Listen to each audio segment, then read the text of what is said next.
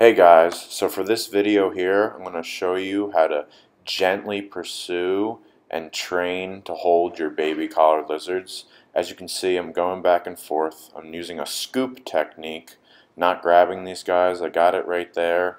Again, they'll jump off, but pretty much you do a slow and steady approach, not trying to scare them too much as they will be afraid of your hands, but generally using the scoop to get them I'll be chasing them around here in this video trying to get them.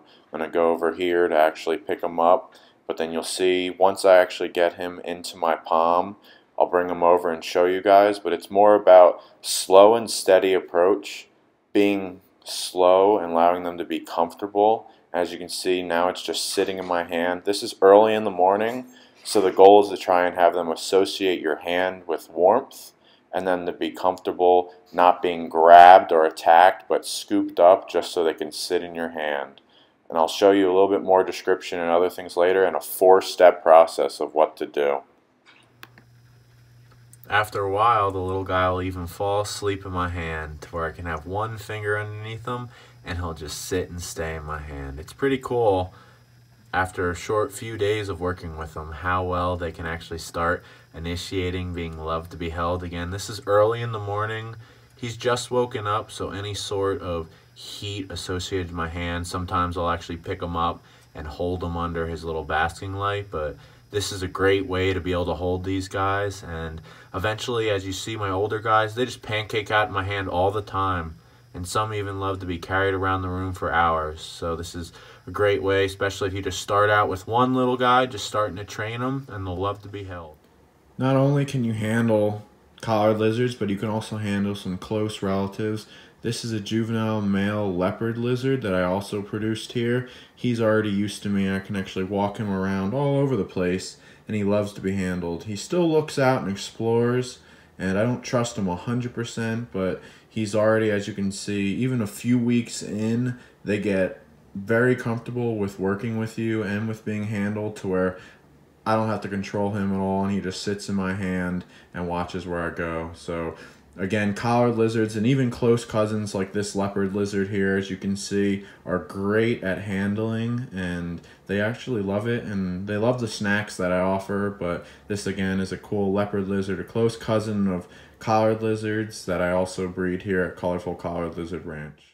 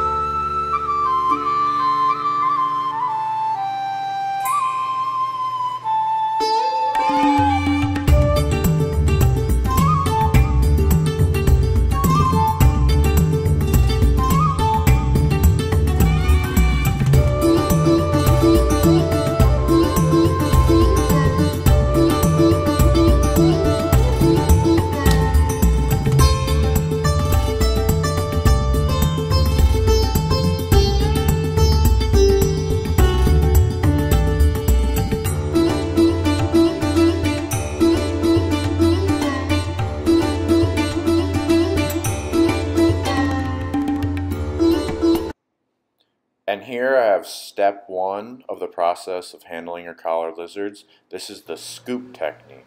As you can see, you slowly approach the collared lizard. May be apprehensive at first, but just gently scoop them up, guide them into your hand and hold them. And a lot of times, what I showed earlier, training them just to sit in your hand is very key, and then you can start the next step. Right here, step two is a slow and steady removal from the closure. You don't want to jerk your hand or pull it fast. Again, the slow scooping of the collared lizard followed by a nice slow and steady approach out of the tank. This way they don't get scared and they feel comfortable coming out into your hand outside. They may walk around just a little bit, may lose balance, but again, a slow and steady approach out of the enclosure allows them to be able to enjoy being held outside of the tank. Step three in the process is positive reinforcement. Now I like to generally pet or give them a snack like a mealworm or superworm. While I'm holding them, here you can see I'm petting one of the female aqua flames as she likes. You can give them little scratches, but again, they will love to take some superworms from you, and this gives them more of a positive, again, reinforcement while you're holding them so they enjoy it better.